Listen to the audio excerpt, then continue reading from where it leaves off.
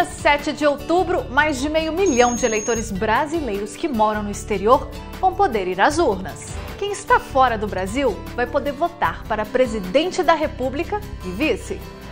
E eu acho que isso é bastante importante, né? Porque você mora fora do seu país, mas você continua sendo um cidadão brasileiro. E a gente continua tendo responsabilidade como cidadão. E uma dessas responsabilidades é votar, né? É decidir o futuro do seu país também, porque um voto sozinho não é nada, mas quando você combina todos os votos, né, você consegue mudar o destino de um país. Geralmente a votação acontece nas embaixadas e consulados. Mas, para atender melhor os eleitores, terá votação também em postos fora das sedes. Isso vai acontecer em Portugal, por exemplo. Alguns eleitores irão votar na Faculdade de Direito da Universidade de Lisboa. Agora, se você não souber onde vai votar, não se preocupe.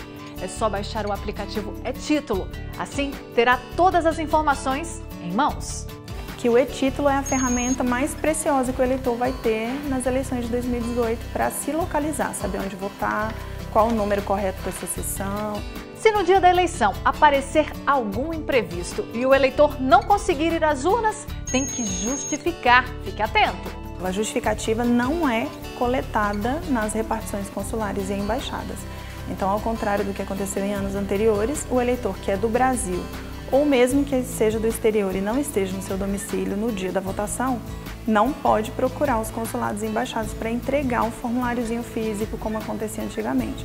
Ele tem que se encaminhar diretamente ao seu cartório de origem ou fazer pela internet, que no caso dos eleitores do DF e do exterior, por exemplo, utilizam o sistema Justifica.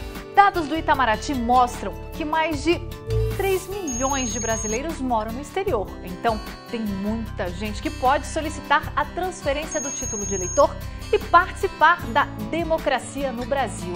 Para este ano não dá mais tempo. Mas a partir de novembro, o eleitor pode acessar o Título Net e regularizar a situação para as eleições de 2022. Imediatamente, quando o TRE nos avisa a data de abertura, nós fazemos uma campanha de esclarecimento mundo afora para que os brasileiros já se preparem para retomar aqueles que ou que completaram a idade ou que não chegaram a, ou que estão transferindo de um lugar para outro, do Brasil para o exterior, já que tudo isso exige uma etapa presencial. Então começamos imediatamente essa campanha, inclusive nos consulados itinerantes que nós fazemos mundo afora. Todos os prazos e informações sobre os locais de votação você encontra também no site do Tribunal Superior Eleitoral. Acesse tse.jus.br